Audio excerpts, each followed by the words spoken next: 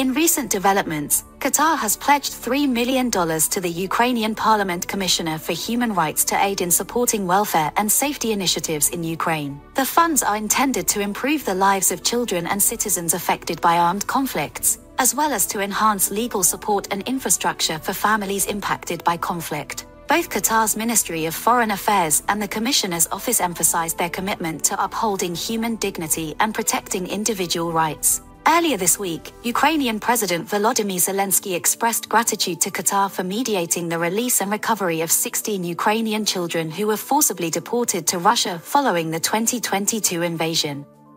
Qatar's ongoing efforts have also led to the reunion of numerous families separated during the conflict. Ukraine asserts that Russia has unlawfully taken over 19,000 Ukrainian children since the invasion, with only a fraction having been returned.